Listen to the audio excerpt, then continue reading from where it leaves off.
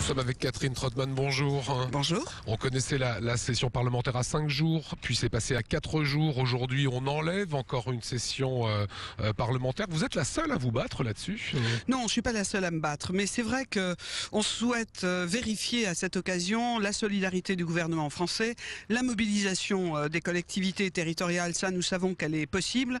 Euh, Aujourd'hui même, euh, au Conseil municipal, nous allons euh, voter, euh, je pense à l'unanimité, une motion euh, qui rappelle notre volonté d'accueillir à Strasbourg et la possibilité de le faire aussi toutes les activités liées au siège. Aujourd'hui, la spécialité des trois capitales européennes, c'est-à-dire euh, la place de l'exécutif à Bruxelles, la capitale euh, juridique à Luxembourg et la capitale parlementaire avec le Parlement européen et euh, le Conseil de l'Europe à Strasbourg. Et je vois comme un espoir le fait que de plus en plus de citoyens, justement, veulent visiter le Parlement européen à Strasbourg. C'est le lieu historique de réunion, c'est le lieu démocratique, ce n'est pas une capitale d'État, mais c'est le symbole d'une Europe qui ne se construit pas par la centralisation et par euh, l'hyper-bureaucratie, c'est une Europe qui cherche son point d'équilibre entre ces différents pays. Quand Robert Grossman euh, dit que ça fait une dizaine d'années qu'il entend que le Parlement européen ne restera finalement pas à Strasbourg,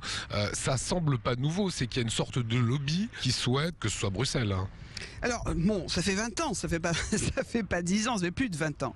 Quand euh, je me suis retrouvé en, charge de la ville de Strasbourg et, au sein même euh, du Parlement européen comme, comme député, euh, la, cause était réputée perdue. Et euh, c'est parce qu'on s'est battu, parce qu'il y a eu un compromis voté euh, au sein du Parlement, parce qu'il y a eu la construction euh, de l'hémicycle de Strasbourg. Je rappelle qu'à Bruxelles, ça devait être simplement un palais des congrès et non pas euh, un siège pour un Parlement européen. C'est parce que nous nous sommes battus que nous sommes arrivés à cette installation des sessions à, Strasbourg. Donc je- pense que lorsqu'une bataille paraît perdue, elle ne l'est pas. D'abord, il y a le droit. Il y a le traité. Le gouvernement s'est engagé à saisir la Cour européenne de justice. Mais ça ne suffit pas. Lorsqu'un Parlement euh, se prononce, il faut aussi l'écouter.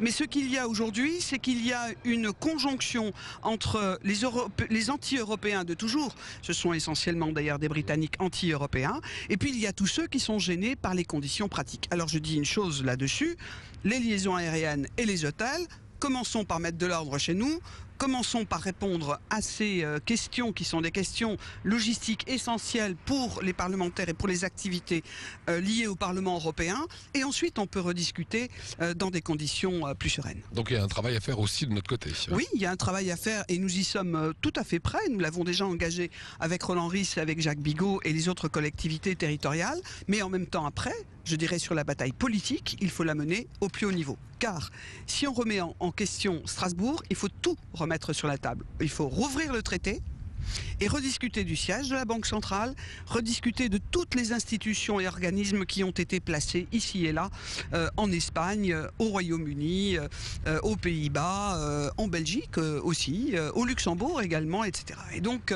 je pense qu'aujourd'hui, il y a une certaine prudence dans cette période à rentrer dans une espèce de guerre de marchandage au lieu de s'occuper des vrais problèmes des gens relance économique, régulation économique et financière, réponse aux défis euh, alimentaires, euh, climatiques et humanitaires. Voilà ce que nous devons faire euh, aujourd'hui. Voilà, merci Catherine Trottmann.